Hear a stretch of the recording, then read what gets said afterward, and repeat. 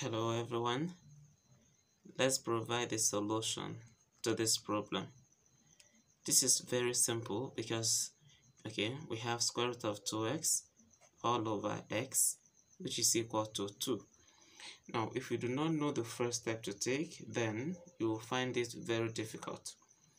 Okay, remember this is over 1, so we can just cross multiply. So that square root of 2x will give us um, 2x, right? Yes.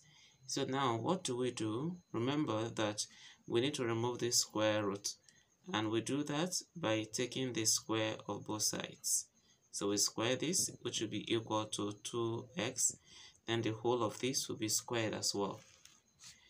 This will cancel this so that 2x will now be equal to 2x squared times 2x squared will give 4x squared. Now let's rearrange this. This is the same thing as 4x squared to be equal to 2x. Now bring everything to the left. So we have 4x squared minus 2x which will give 0. Now what is common to these two? We have x here, we have x there. 2 is found here, 2 is also there. So I'll bring out 2 first. x is there, bring it out. Then 4x squared divided by 2x will give us 2x. Right? Then minus 2x divided by 2x will give 1. This will be equal to 0.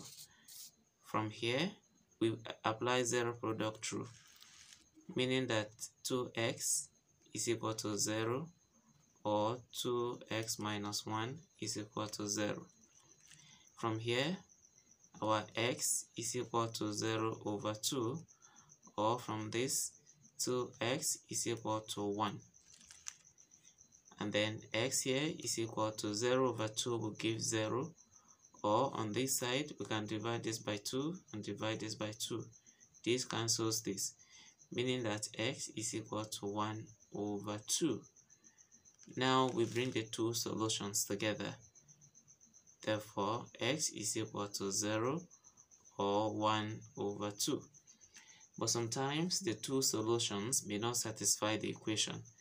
Remember the original equation is square root of 2x over x equals um, 2. Okay?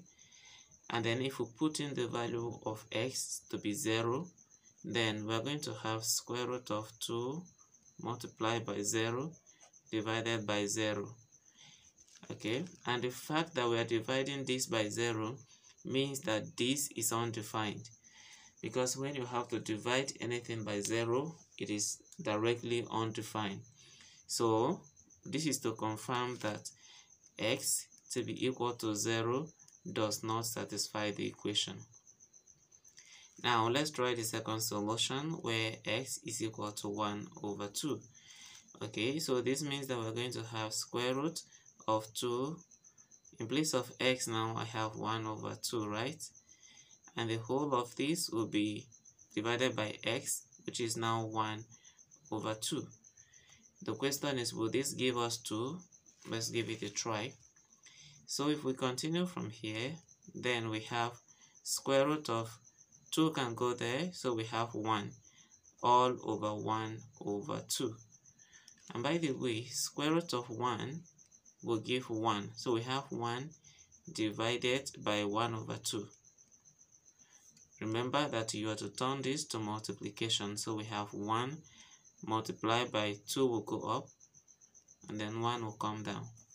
At the end of the day we have 2 over 1 right? And 2 over 1 is the same thing as 2 so this is to confirm that okay. This is to confirm that x equal to 1 over 2 satisfies the equation. Thank you for watching